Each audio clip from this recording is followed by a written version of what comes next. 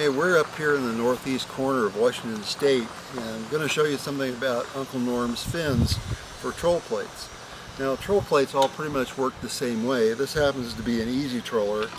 Now in the up position of course you're going to go fast. In the working position down the idea is that the troll plate is going to block the thrust from the propeller and in blocking the thrust the boat's going to go slower problem is now the thrust is dispersed. It's going out all different directions and the net result is you don't have a lot of control. The boat kind of wallows around in the water. You can generally get it to go where you want to, but really it's not a positive control. So what we've done here is we've added the Uncle Norm's fins to the troll plate.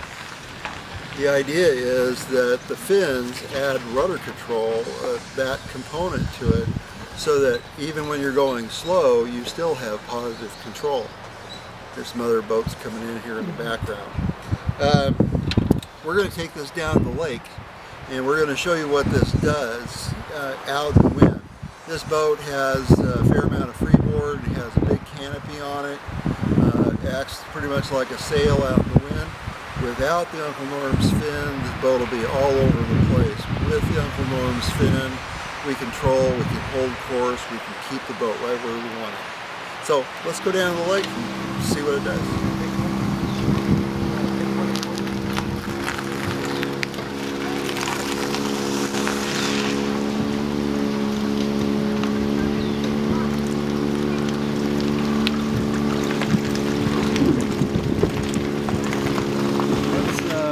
Let's put the troll plate down and uh, fire this puppy up and we'll show you what it'll do with the troll plate in the down position.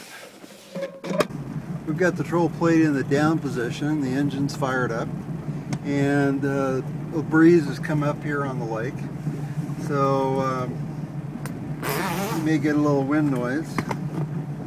Just want you to see that uh, it's a little choppy out here but not bad yet and some storm clouds are brewing. But let's give you an idea here. I'm gonna, we're running at uh, basically idle RPM here. I'm gonna give the steering wheel just a little turn one way. See, we can change course immediately. I can stop it on heading. I can turn it the other way.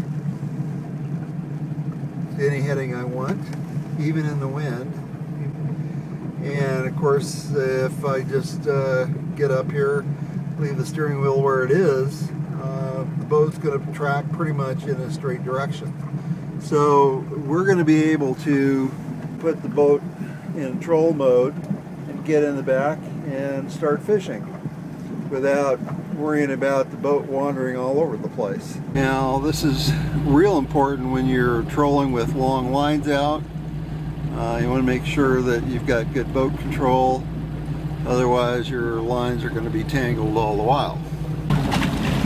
Okay, um, this is my grandson Tyson. Tyson, you want to look at the camera? Okay, we're out here fishing.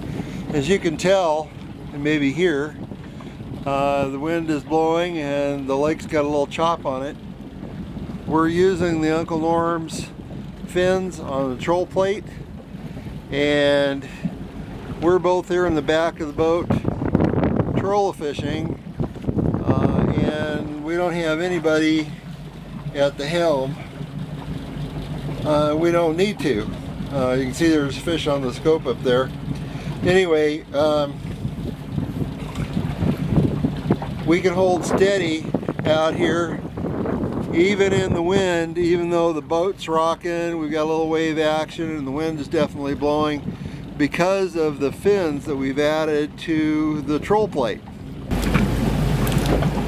Uh, we are officially the only boat on the lake now.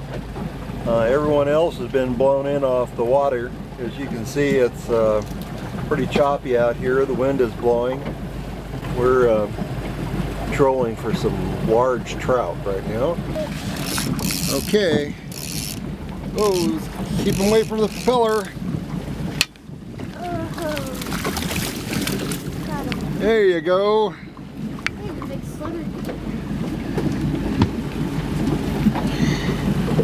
Okay. Nice fish. Good job.